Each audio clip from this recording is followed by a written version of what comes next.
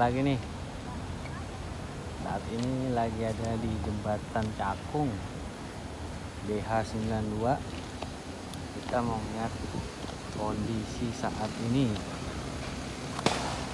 Itu adalah pembangunan flyover di sisi kanannya. Itu mobil pengecoran sudah mulai masuk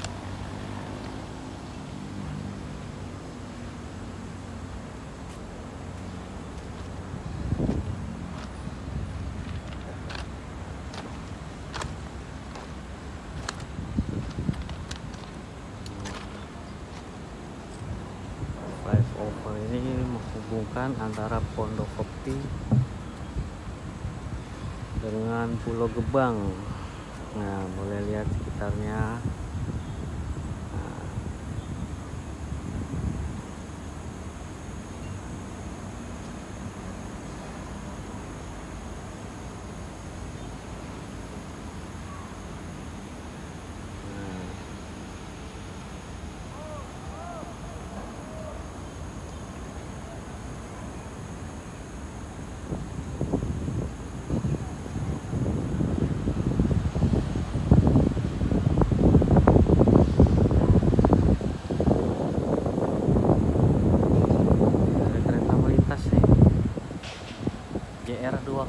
Yeah.